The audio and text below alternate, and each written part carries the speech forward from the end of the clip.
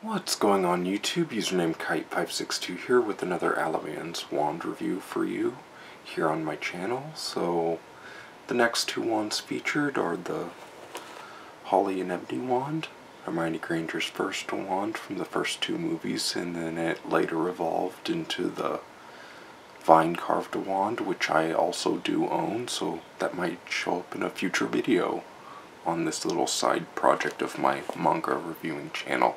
And if there's any, you know, background noise in this video, I apologize. I'll try to edit it out as best as possible. So anyway, let's get on with the video. Now, as featured in this video, it's the Holly and Ebony wand. Nice striking black ebony shaft with a nice holly handle. As always, Alivans wands do come with a certificate of authenticity. Do You zoom in on there to read it. This is to certify your Alivans wand is made out of solid holly and ebony. And then there's the description of the wood. And there's the website where I got it. And the other side of the COA all Alivans wands come with a little certificate of authenticity. But anyway, I thought I'd read the description of ebony. Ebony is obviously striking with its pure black color. It represents strength and generates unsurpassed magical energy. The holly in the handle is the symbol of life, vitality, and immortality, and is perfect for spoken spells. Again, this is Hermione Granger's first wand from the first two movies being Sorcerer's Stone or Philosopher's Stone if you're in the UK, and the Chamber of Secrets, and it was later evolved to the Vine Carved Wand to, for the third film and onward.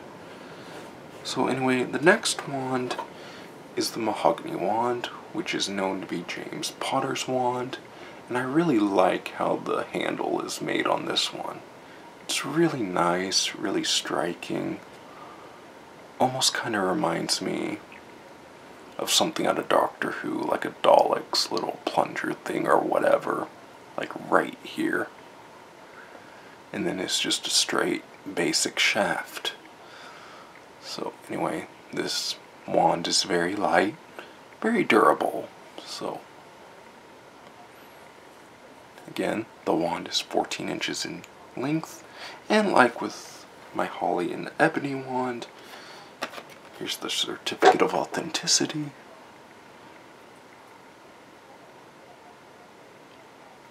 And I'll definitely read you the description if you can't. Pause the video and read the description right there. Mahogany is known to be excellent for transfiguration, and because of its protective qualities, it is famous for its ability to ward off the dark arts. Now again, mahogany, a mahogany wand was favored by James Potter, and I say favored.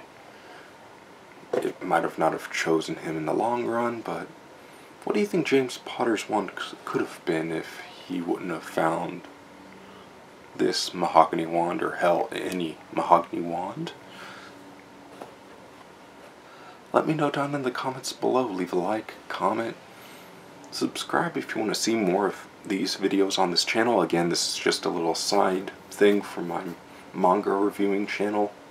I thought I'd just keep everything all collected in my Kite 562 channel in a more quality way.